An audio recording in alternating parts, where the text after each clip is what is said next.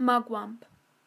Mugwump is an anglicized version of a word used by Massachusetts Native Americans to mean war leader.